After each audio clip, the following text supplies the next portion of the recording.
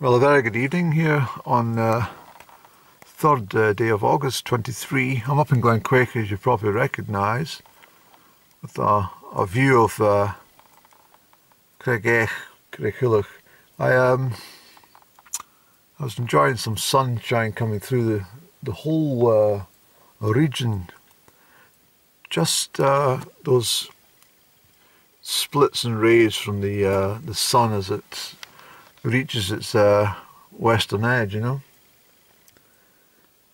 But it's clouded over again.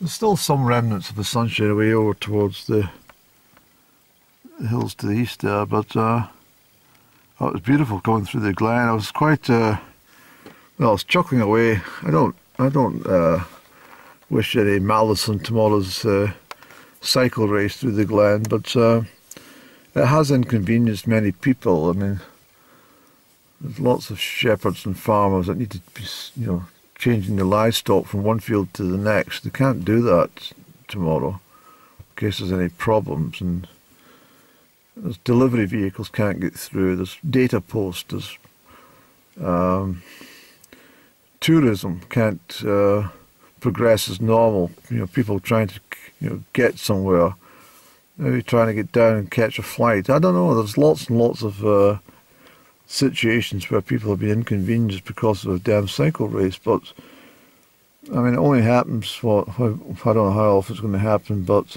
I think the uh, the moral of the story for most people is at least everybody got the potholes uh, filled in who live on the route of the cycle race. Otherwise, you'd still be crunching tires and breaking springs on their wheels on uh, on their motor vehicles. So for this uh, cycle race, I'm, I'm rather grateful that uh, uh, the whole uh, stretch from uh, my ho house all the way up to uh, Aberfeldy has been mended. So yeah, and but I was chuckling away as I say because many of the the arrow indicators for the cyclist's benefit, of course, in big yellow and black. When they've uh, placed them into the ground and uh, nailed them there, I don't think they realise that the the wind is quite powerful up uh, these glens, and uh, so now most of the arrows are pointing in a different direction. And of course, if you're on a cycle travelling at uh, 40 or 50 miles an hour or something, um, which is not I mean, that's not uh, unusual for these cyclists to be zooming along at that rate uh, they'll see the arrow and it'll take them into the nearest hedge or barbed wire fence or something. But um, yeah, there's another uh, culprit, not culprit, uh, another person who'll be inconvenienced will be tractor drivers. The balers are out. You know, it soon be harvest. Want to go I mean, these people will all be wanting to do things and uh, told they can't start at a certain time or they've got to go home at a certain time. I mean, it's just nonsense. Friday's the wrong day for this. a lot of people will be at very irate if they're caught in traffic tomorrow, being the weekend. But uh, there we go. There's a lovely our church end, isn't it? I haven't been back to see Florence for a little while. But uh, I was at the church on the 16th of July. I don't think I loaded anything about that. I don't think so. But it was a wonderful service. The, the usual minister was on holiday, so it was our replacement. And uh, she was very, very nice to talk to that lady. And, uh, and the parishioners still don't know it was me. It uh, planted up the uh, the box outside. And that's the way I wanted it. Look, the sun's coming through for you, Annie. It's gorgeous, isn't it? It really is. Absolutely gorgeous. If you can focus that is, boy. It truly is. It's, a, it's just wonderful. That um, so there's there's not a lot to, to report. Uh, I'm thinking of actually, well, perhaps uh, going up to some elevation tomorrow. If I can get up the road quick enough, I might park up somewhere safely and then try and head up uh, the Scurran or something like that on the eastern flank of, uh, sorry, the western flank of Small Glen and uh, try and get some uh, ele elevated pictures of the cyclists coming through, just for posterity, you see. But, uh, and I'm going to write to Cadbury's.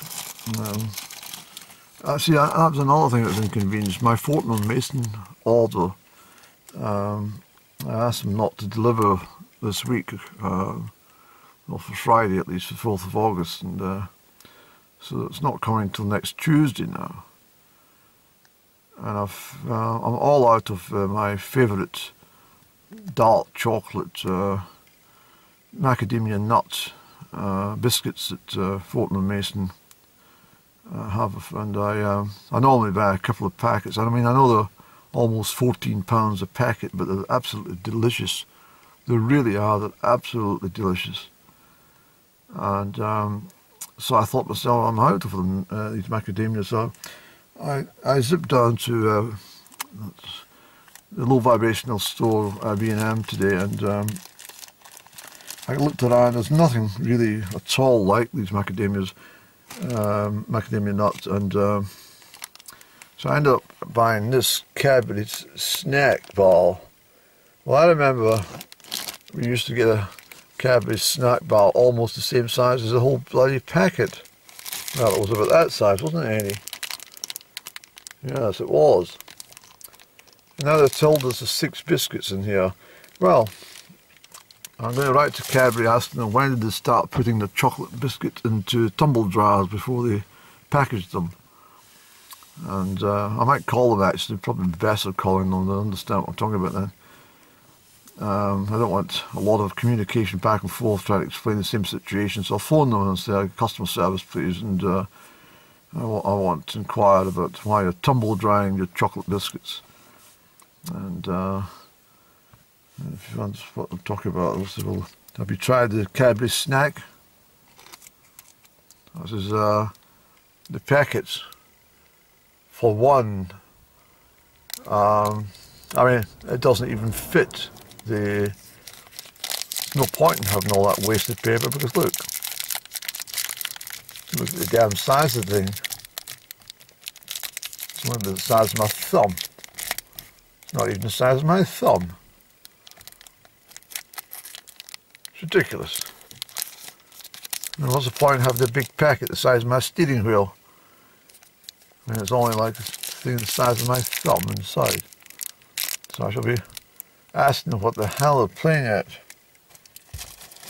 And, uh, and what's the point of having a big bulky packet like this for six measly chocks inside? It not even taste good.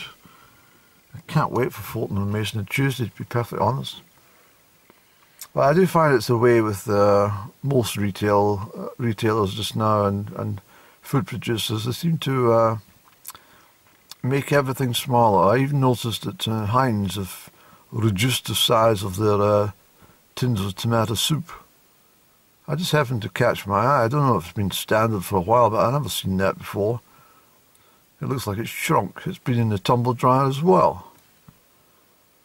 And uh, the price hasn't come down, of course, and uh, I, I, I, don't buy any Heinz products at all now, ever since the time it uh, when was it COVID and they put the price up and kept putting the price up. I was just sort of I'm not buying your product. You lose. I mean, you. I think the. I think in the top twenty rich list in the in the world. The the Heinz Foundation, the family, but. Uh, I don't know why they need any more money. That's that's the problem. So I don't understand why they want to put uh, an additional 20 pence onto a tin of soup or 25p for or a pound. Uh, I mean, I think I saw a little bloody tin of beans about that size, and they wanted one pound ten pence in the bloody co-op. And uh, buy three for three pound. I thought I wouldn't buy bloody uh, thirty for three pound. You know.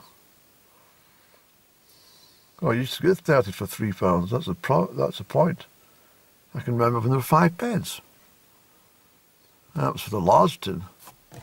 Seven pence, Andy. Go on. No, it was 5p. No, it wasn't, Eddie. it was. It was 15 pence then. Stop arguing with yourselves, Joe. It was five pence for the small tin, it was 15 pence for the larger variety, wasn't it? Heinz's 57 varieties. You know, 57 ways of fucking ripping off the public.